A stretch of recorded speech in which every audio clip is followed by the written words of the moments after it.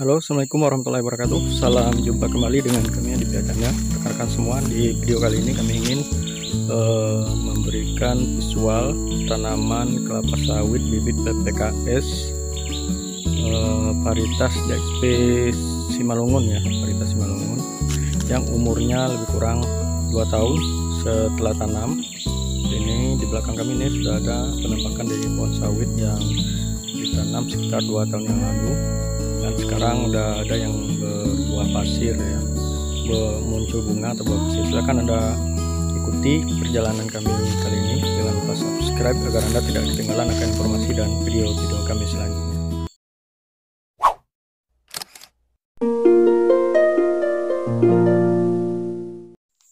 Rekan kita sekarang lagi berjalan di perkebunan kelapa sawit. Kita akan coba pantau perkembangan tanaman kelapa sawit ke bibit asal dari PPKS kita coba lihat penampakannya hari ini.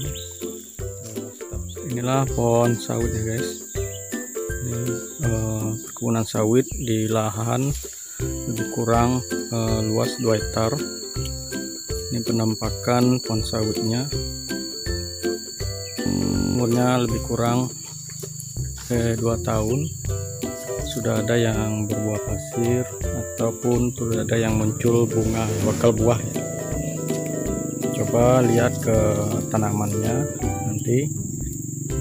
Ini eh, seperti di depan kami ini. Ini saat tajuk pohonnya sudah eh, melebar dan sudah tinggi.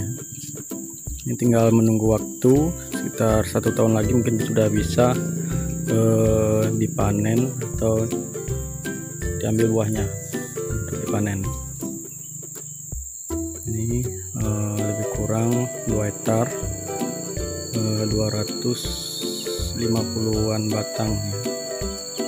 bahannya konturnya eh, miring ya miring dengan eh, kontur lebih kurang dengan kemiringan ya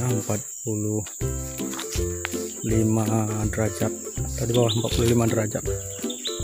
Hmm, ini uh, sangat lu, luas. Sangat luas 2 hektar ini dengan kontur yang agak sedikit miring. Nih.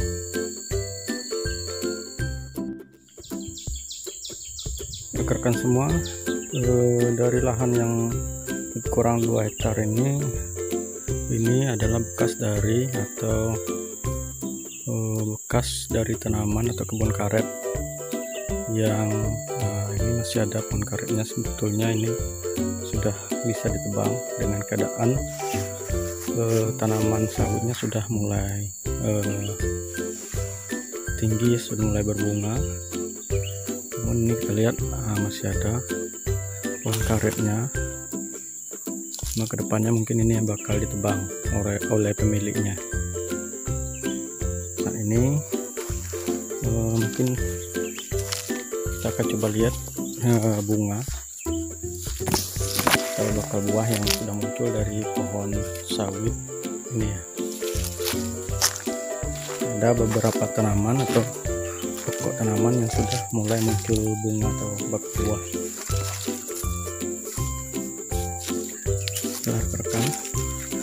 keadaannya sawit muda. Ini kita cuma jalan-jalan aja kita mereview dari kebun sawit ini. E, peralihan dari e, kebun karet ke kebun sawit. Peralihan e, vegetasi tanamannya. Semula ditanami pohon karet tapi sekarang udah di alihkan ke tanaman sawit mudah-mudahan prospek dan uh, progres ke depan peluang ke depan untuk uh, tanaman sawit ini uh, begitu menjanjikan. Mudahan. Rekan semua inilah pohon yang sudah mulai muncul. Bakal bunga bakal buah ini ada bunga jantan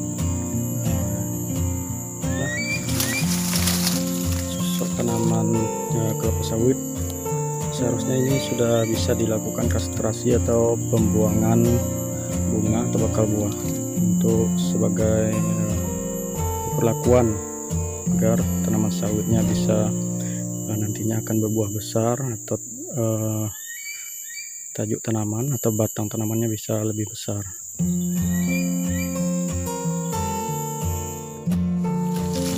Oke, rekan-rekan semua, itulah uh, hasil jalan kita hari ini uh, di lahan kebunan sawit umur 2 tahun ya milik uh, petani sawit di daerah kami. Uh, mudah-mudahan hasil jalan-jalan ini bisa memberikan semacam uh, hiburan kepada Anda ataupun sedikit pengetahuan tentang tanaman kelapa sawit. Mungkin ini dulu. Uh, sekali lagi minta kepada rekan-rekan semua jangan lupa subscribe channel kami agar Anda tidak ketinggalan akan informasi dan video-video kami selanjutnya.